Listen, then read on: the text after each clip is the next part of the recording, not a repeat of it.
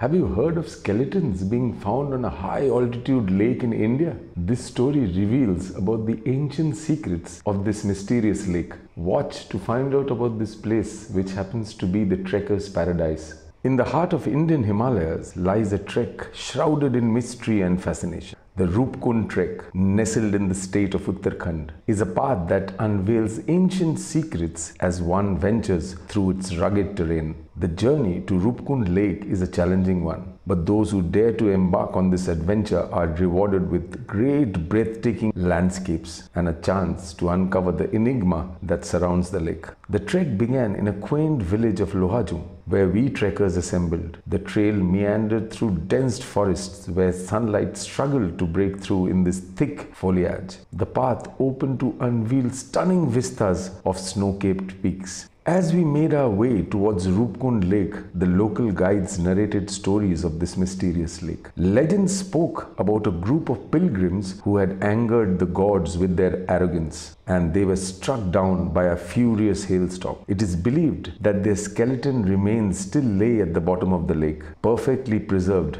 by the icy waters. Fascinated by the stories, we pressed on, eager to unravel the secrets of Roopkund. On arriving Roopkund, we saw there was already an investigation team present and they have been camping for the last five days. The team enlisted the help of local divers who dived into the icy depths of Roopkund. We watched as the divers descended. Finally, the first driver emerged, clutching a few bone like structures and pieces of cloth.